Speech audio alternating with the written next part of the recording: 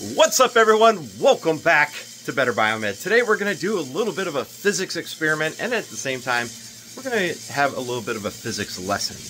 This is about water. Water is such an important piece of who we are and what we do as a profession and it's it's absolutely essential that you understand the physics behind it because once you understand the correspondence of pressure and temperature, you'll also understand the correspondence of vacuum and temperature in water.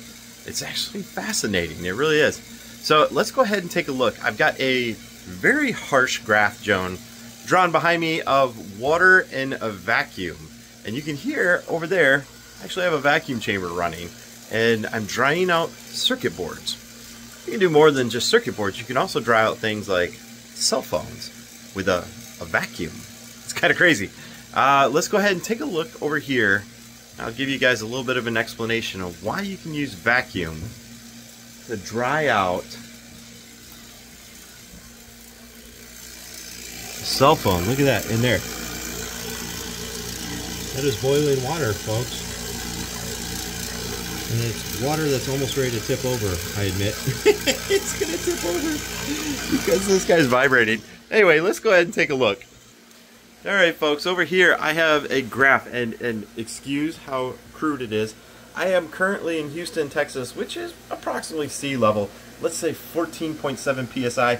I know, folks, vacuum is not good to talk in PSI. I get it, but that's what we're going to do here today because when we're talking about sterilizers and vacuum systems, it's going to probably be in PSI for the most part, maybe bar, millibar.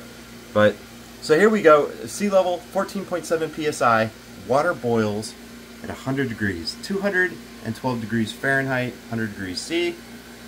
And here's the thing, the bar down at the bottom is a total vacuum. So as the temperature gets closer to a total vacuum, it boils at a lower and lower temperature. And you look down here, you see that water boils. Notice it doesn't go all the way to vacuum because it's physically almost impossible to get a perfect vacuum. But when you get down to let's say 29 inches of mercury, which is pretty low of a vacuum. It's pretty low. Water is going to boil at 75 degrees Fahrenheit, which is 23.89 degrees C. Which is why, over here, you can see that water is boiling away. Now, I did say 75 degrees C, and it is wintertime here in Texas, so this garage is not the warmest thing. And there's things like the stainless steel that are going to cool it off. So in order to make it boil and evaporate all the uh, water that's on that circuit board, you see that giant chunk of aluminum in there? It's been heated with a torch. So it's heated, and mind you, it's not heating that glass to no 100 degrees. It's pretty cool inside that thing, but anything that's touching the surface is going to warm up just enough to get that 75 to 78 degree magical mark. That board was absolutely soaked. And here, I can shut the pump off too. You can shut the pump off. You notice it's still drawing quite the vacuum right here. We're at about 28, 29 inches of mercury. And it stopped boiling, but it's got quite the vacuum in there. As soon as I, as soon as I start that pump back up, it's going to start boiling again. Now, why is that? Because as it evaporates, it's actually creating gas and it's returning the chamber to just above the pressure that it needs to uh, have liquid. So the water is going to continue to boil as soon as I turn that back on. Now, why is that important?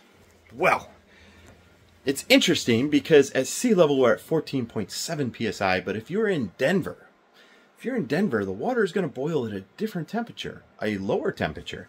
And that's why food takes longer to cook at higher elevations.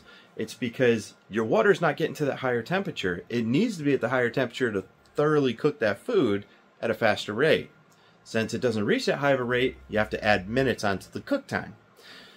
Now, the inverse of this is how do you get water above 100 degrees? See, water boils at 100 degrees. It doesn't want to get warmer than 100 degrees. So now how does a steam sterilizer get to 275 degrees? You add pressure. Here in this graph, we're taking away pressure and lowering the boil point If you add pressure, you're increasing the boiling point. It's the inverse, which is absolutely fascinating. Steam sterilizer, 275 degrees. It's going to be about 30 psi. And that's how you know if you got temperature, you got pressure. Because unless you got a heating element around the chamber of that sterilizer, you're not going to get to 275 degrees unless you have pressure. So there's a direct relation when you're talking water and steam. The temperature and the pressure are completely related. So technically, we would see a V like that for pressure. So you add pressure and you get higher boiling point. There you go, folks. Just a quick demo. I'm experimenting here with a new device because I want to be able to thoroughly clean circuit boards and also save things like phones. You put them in a vacuum and with a, a slight heating source, you can easily boil out all the water that is on the circuit board, including the stuff that's hidden under those SMD chips, which is extremely difficult to get out thoroughly. I can place it in a vacuum on a heater like that and leave it in there for an hour or so. It comes out perfectly dry. It's crazy.